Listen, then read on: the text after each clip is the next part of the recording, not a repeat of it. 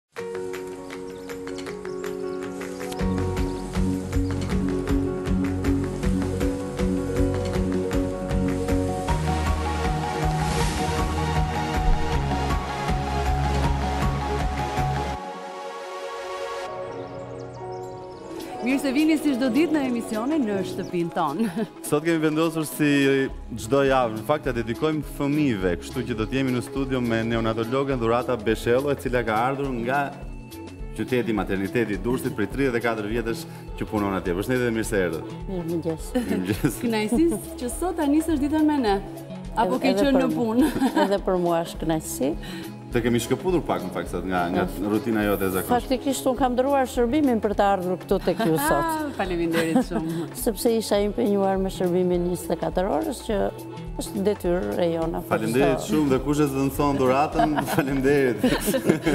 Po, po si ia dilni, si ia dilni gjithë këto vite dhe këto shërbimet më duken të lodhshme me thënë të drejtën, shkëputja nga familja, 24 orë në punë, Është ne jemi betuar që në fillimet tona, kur e kemi zgjedhur këtë profil edhe këtë degë, megjithatë aty ku unë punoj, aty ku mendohet se fillon jeta, është pjesa më e bukur e mjekësisë. Kështu që e bëj me shumë kënaqësi, me shumë përkushtim, gjithashtu kam pas mbështetje të familjes, Pothuajse aty janë rritur fëmijët e mi, mm. bashkëshorti i cili dhe ai ka qenë impenjuar gjithmonë me shërbime sepse ka qenë ushtarak, na është dashur që shpeshherë t'i t'i zgjidhim bashkë ato problemet për të mirën edhe të punës, po edhe të familjes.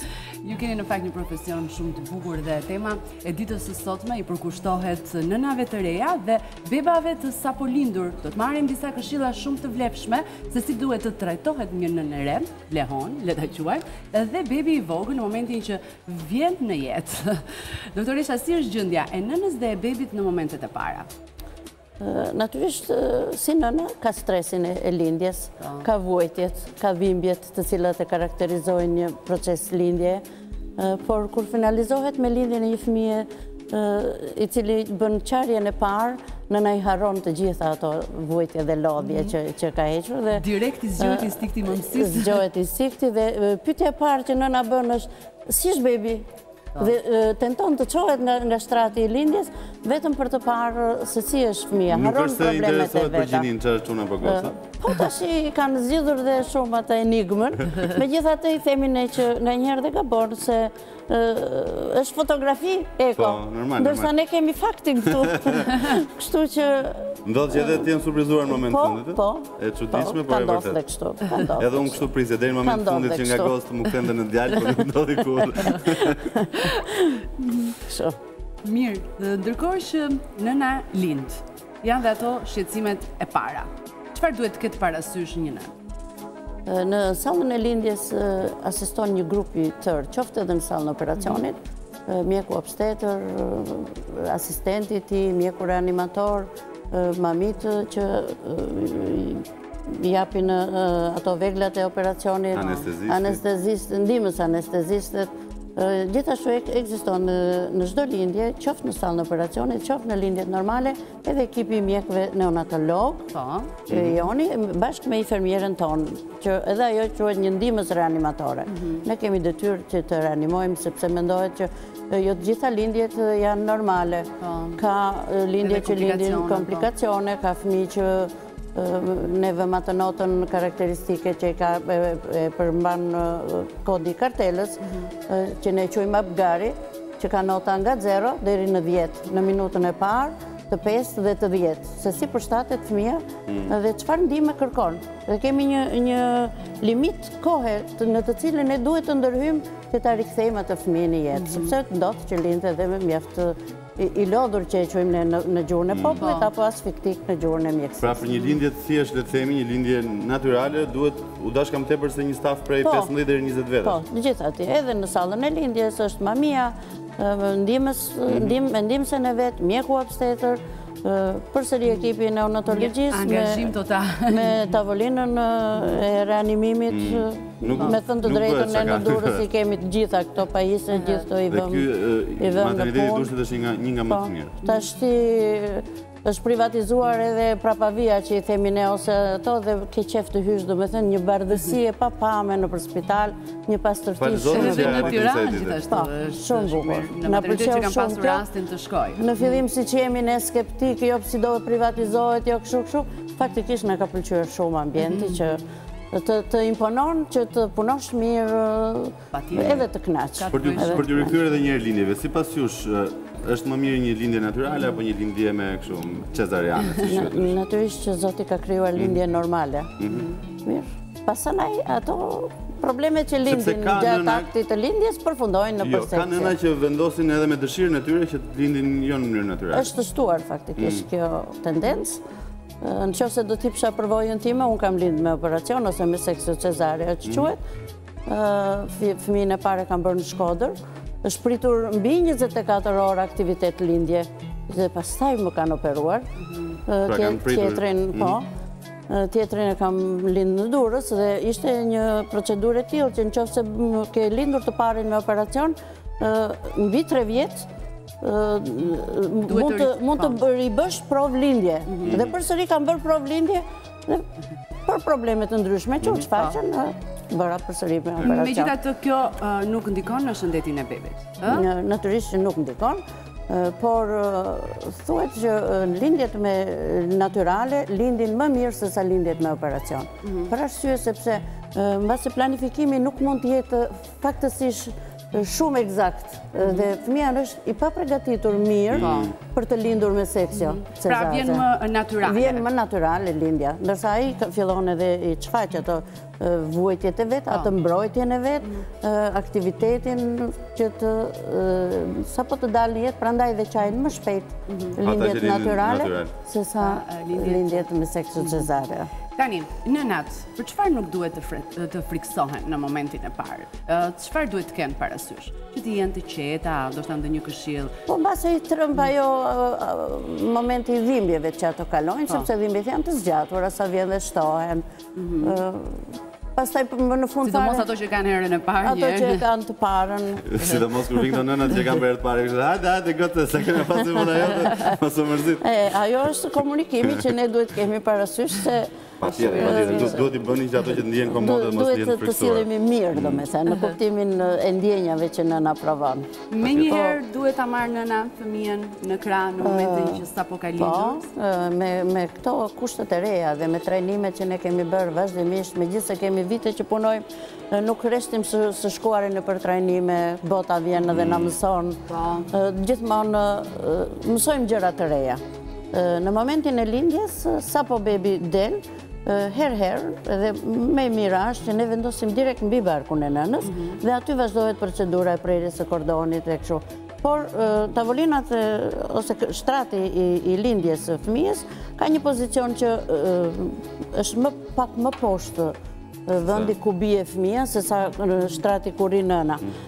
Dhe në momentin sapo pritet kërthiza, që duhet të kalojnë rreth 2 minuta, pastaj ajo duhet të mm. pritet, kur ne e quajmë dhe të mbarojnë ato pulsacionet, po. që ashtu, duhet e marrim fëmijën dhe e vendosim në drejtim gjatësor, po. në midis dy gjinjve të nënës, mhm. të mbuluar me pelena, në kohën që ka rënë aty që e merr mamia dhe e nxjerr mhm. në tavolinë, Ne fshim, duhet të po, thahet me copa të lagura, të mbulohet koka, duhet të pastrohet. Pa, njëkohësisht bëjmë dhe stimulimin me këtë, që e po. ngacmojmë fëmijën që të qajë, sepse jo të gjitha shumë. Po, pasandaj e vendosim tek nëna, në drejtimin gjatësor, bebi fillon tenton të lëpijë nënën, të afrohet rreth areolës së gjoksit të nënës, Duke qenë se dhe e një.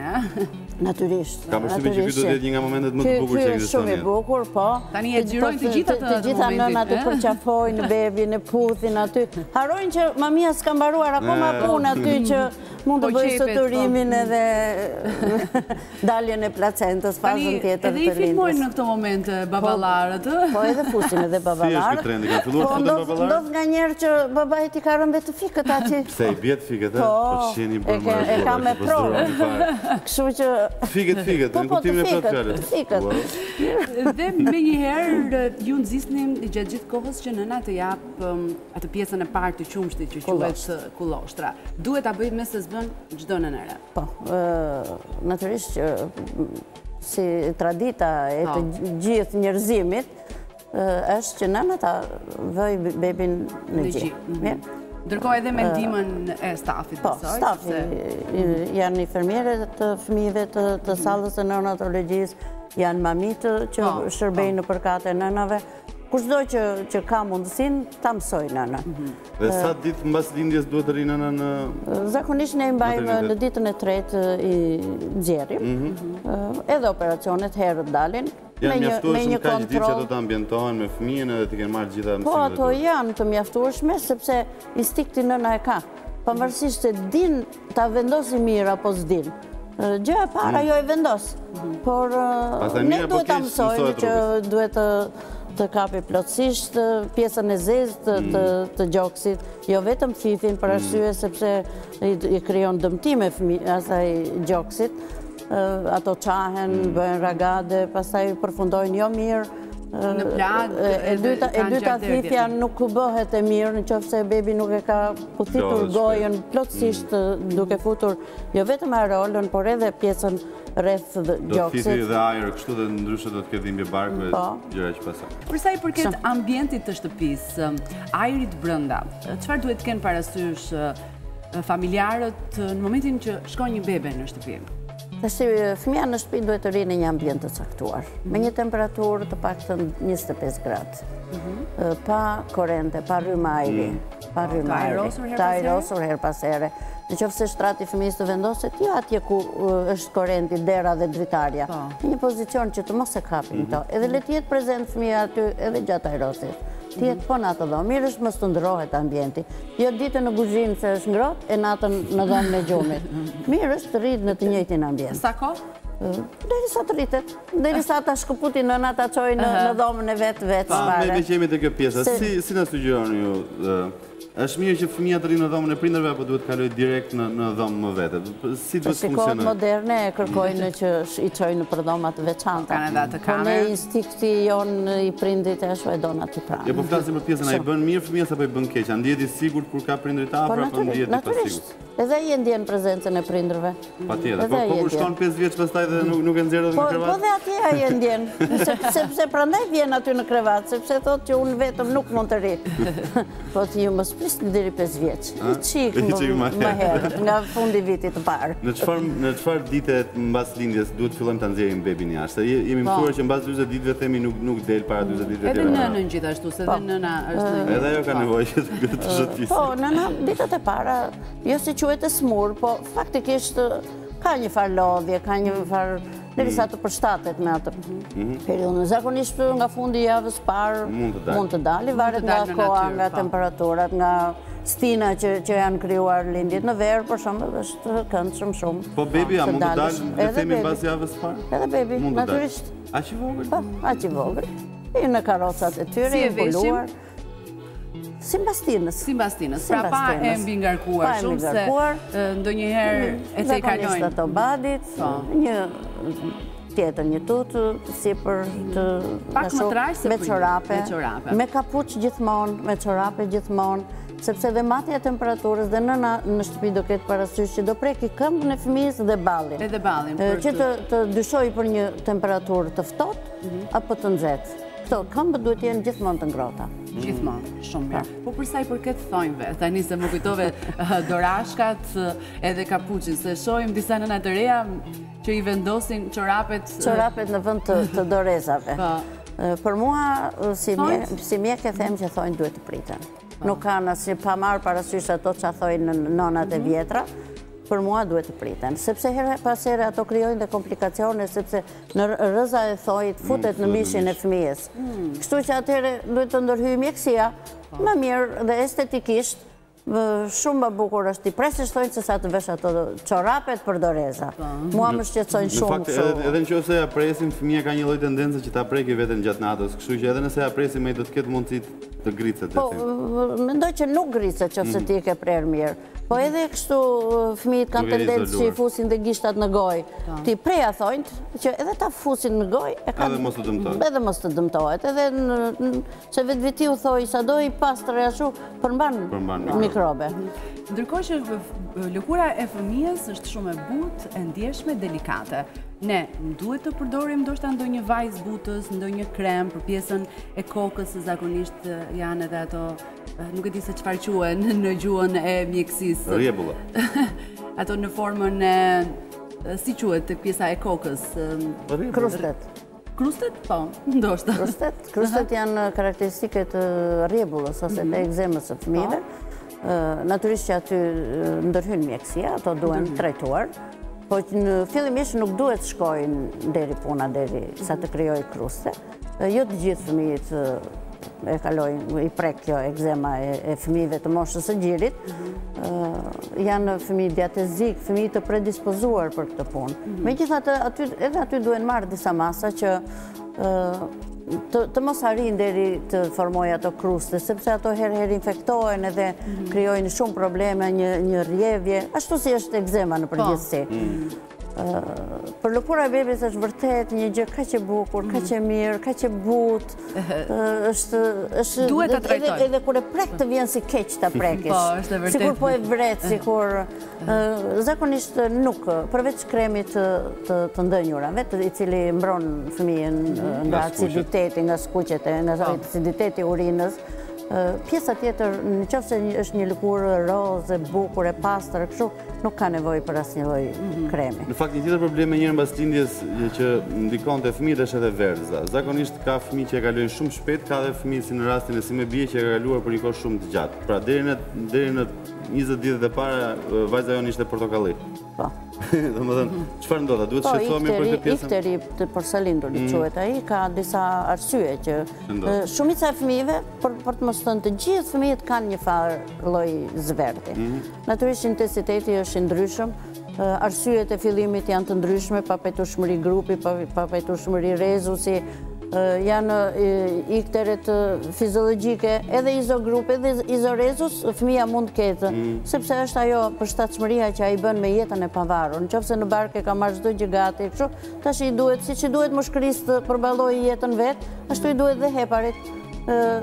ka trajtime të ndryshme për zverdhjen.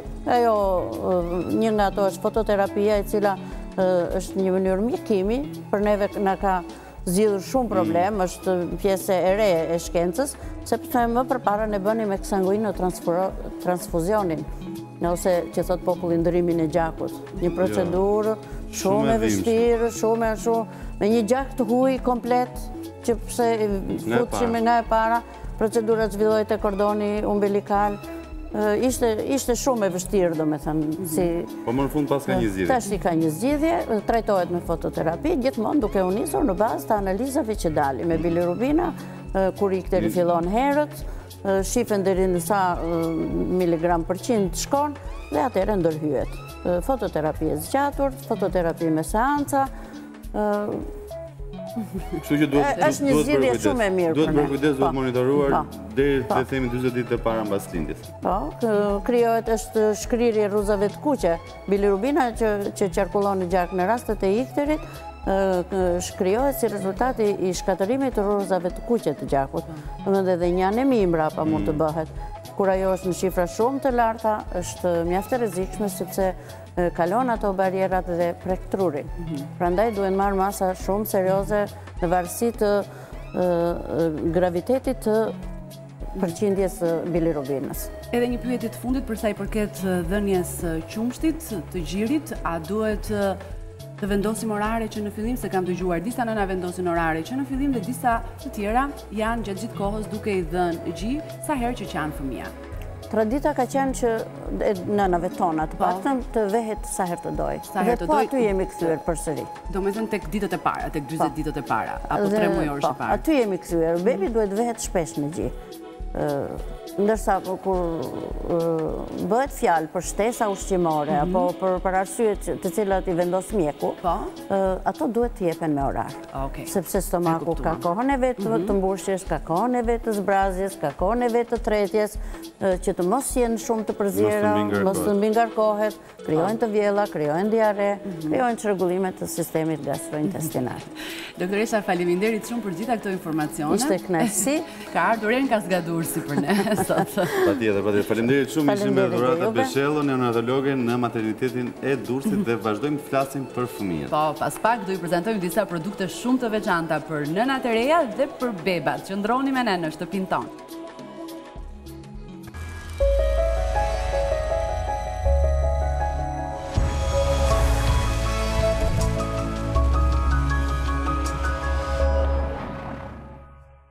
Përshëndetje, unë jam Anjeza Maja nga emisioni Në shtëpinë tonë. Ndërsa unë jam Floriana Galliu. Për t'u regjistruar në kanalin e Top Channel në YouTube, klikoni këtu. Ndërsa për të ndjekur videot më të reja të emisionit tonë, klikoni këtu.